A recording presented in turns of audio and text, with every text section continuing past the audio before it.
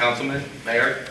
Um, look, we, we've had the court case, we've I'm done the sorry, can you petition. mention your name, please? Tyler Mitchell, sorry. We've had the court case started, it wasn't thrown out absolutely. You guys allocate this five million dollars to this firm, and the court finds in favor of us, who did the original vote on the pier petition drive. We lose that money. We might get some of it back, but you're still throwing money away. The thing is, they keep making changes to the lens, and you can keep changing it, you can keep changing it, but what it comes down to is, it's not practical. We have a marina with nowhere for boats to go. You can't have a motorized boat there, you can have kayaks. Well, you know, the current pier, we can take our motorized boats up to. Pretty much, in the newspaper, they said that, you know, what this comes down to is the vision for the future of St. Petersburg. And what the lens is, is a vision put forth by the Chamber of Commerce and Moneyed Interest. It is not a vision of the common St. Petersburg citizens.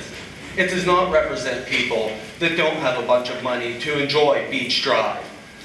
The pier that's out there now gets enjoyed by regular, everyday people, working class people, people of modest means that live in St. Petersburg. The lens is a big walkway over the water with all kinds of design features that really have no function and have nothing to draw families to it. You guys have these big observation decks that stand out and look over the water at the power plants on the other side of the bay. You have marinas that can't have power boats. You have restaurants on shore. We already have restaurants on shore, but we want restaurants over the water.